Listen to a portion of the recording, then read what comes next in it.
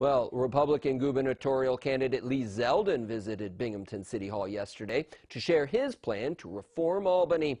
Zeldin, joined by his lieutenant governor running mate Alison Esposito, described their 10 point plan. They include setting term limits for state officials, implementing voter identification, strengthening New York State's FOIL law, reimagining New York State government websites, and assigning a prosecutor to investigate and deliver accountability to the executive branch. First and foremost, it's important to point out that it doesn't require new law. It doesn't require an executive order. For just having people in government serve with integrity, not getting themselves uh, arrested and thrown in prison, just being honorable, uh, selfless public servants who understand that public service is about serving the public, not being served by the public. Uh, that would be progress.